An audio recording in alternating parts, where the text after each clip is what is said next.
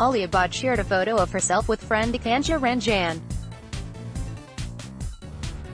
However it was the way she identified Ranbir Kapoor as RK that caught people's attention Ranbir Kapoor and Alia Bhatt Ranbir Kapoor and Alia Bhatt are the new rumored couple in Bollywood, who are painting the town red with their cutesy posts and pictures with each other. Their outing with each other's families is also winning the hearts of netizens. Not only families, Ranbir and Alia, seemingly are even bonding with each other's friends. Ranbir and Alia are currently shooting together for their upcoming project Brahmastra by former's best buddy, Ayan Mukherjee.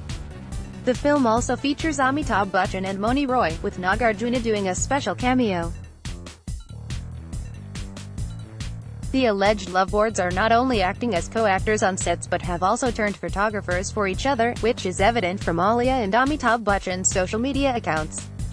Alia Bhatt shared a photo on her Instagram account, in which she is standing by the window, enjoying a scenic view of the city with her close pal Akansha Ranjan. What's special about the photo is, its photographer, who is none other than Ranbir Kapoor. The Raazi actor captioned the picture as, the view and her too. Photo credit, RK, sick, for the unverse. Ranbir Kapoor is also known as RK.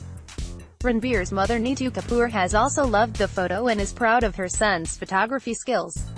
The flick will hit the big screens on August 15, 2019.